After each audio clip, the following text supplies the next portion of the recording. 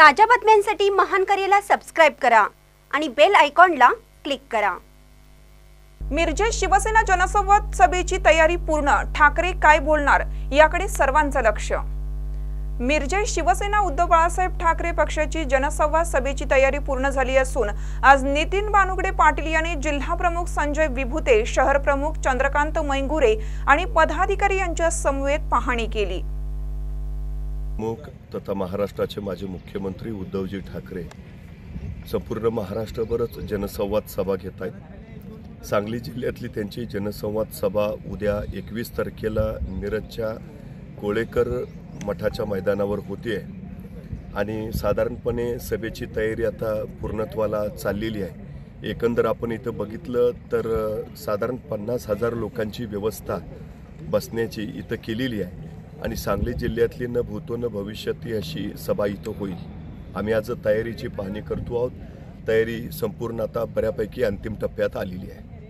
आपल्या माध्यमानं मी लोकांना आवाहन करतो की आदरणीय उद्धवजी ठाकरेंचे विचार ऐकण्यासाठी आपण जास्तीत जास्त संख्येनं इथं उपस्थित राहा या जनसंवाद सभेला पन्नास हजार नागरिकांची बैठक व्यवस्था केली आहे. तर सर्वांना आवाहन करण्यात आलं आहे की पक्षप्रमुख उद्धव ठाकरे यांचे विचार ऐकण्यासाठी सर्वांनी उपस्थित राहावे.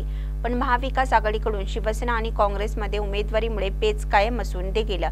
उद्या शिवसेनेचा जनसंवाद सभेला पक्षप्रमुख उद्धव ठाकरे हे येणार असून ते काय घोषणा करणार याकडे सर्वांचे लक्ष लागून राहिले आहे.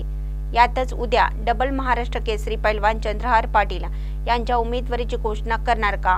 याचीही महाराष्ट्रातील जनतेला उत्सुकता लागली आहे.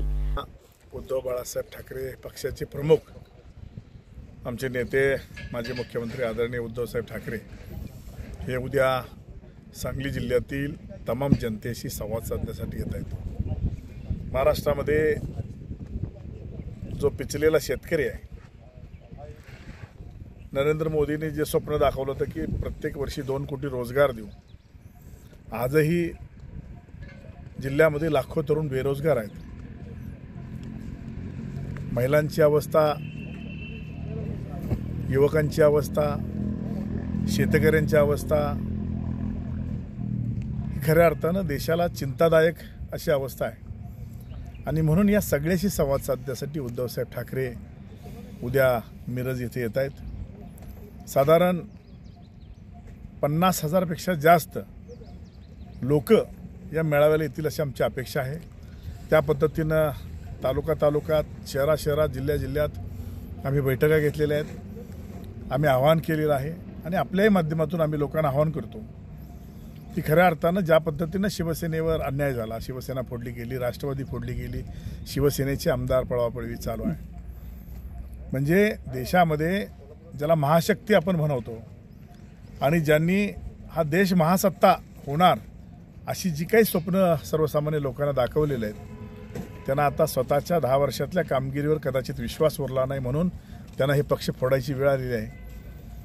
त्या महाशक्तीला जर धडा शिकवायचा असेल आणि आपल्याला खऱ्या अर्थानं डॉक्टर बाबासाहेब आंबेडकरांचं संविधान आणि लोकशाही जीवन ठेवायचं असेल तर आपण उद्या प्रचंड शक्तीनं प्रचंड ताकदीनं वाजत गाजत आपण घोषणा देत या ठिकाणी या मेळाव्याला याचं यावं अशा पद्धतीचं मी आवाहन आपल्या माध्यमातून करतो. मला खात्री आहे की उद्धवजींचे विचार ऐकायला परखड विचार ऐकायला की खऱ्या अर्थानं या भाजपला नडणार एकच नेता आहे.